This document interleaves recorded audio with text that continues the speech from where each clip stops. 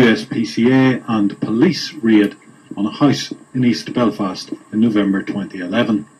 An ordinary terrace house with a not so ordinary backyard. It's packed with cages, some empty, but many of them with dogs, some just a few days old. Heavily marked.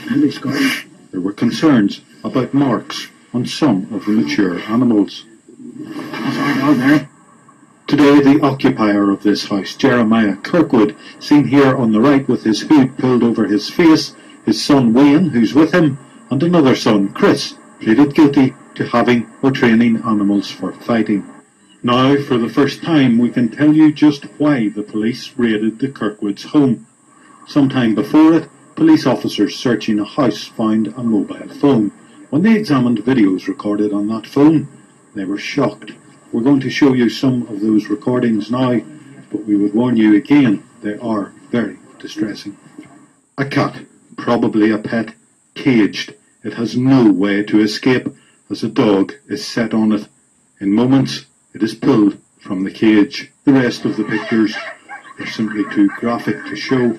In total, four dogs were allowed at the cat, which remained alive for some time. A man shakes a tree to dislodge a cat, again probably a pet. As soon as it hits the ground, two dogs are on it.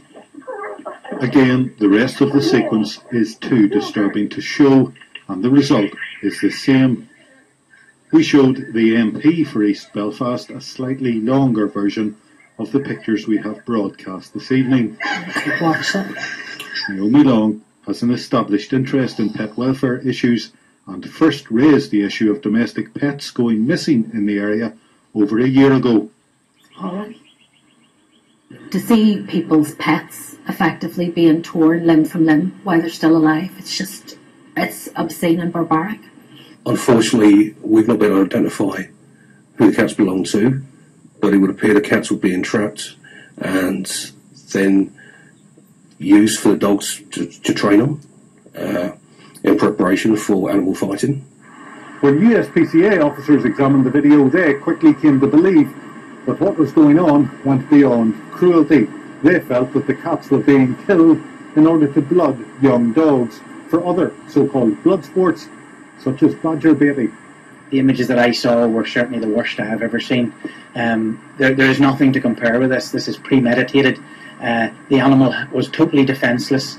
The cruelty was completely unnecessary, uh, and this was done purely for the enjoyment and for the supposed skill uh, of people uh, trying to demonstrate their dogs. All four guilty men will be sentenced next month. Gordon Adair, BBC Newsline, Belfast.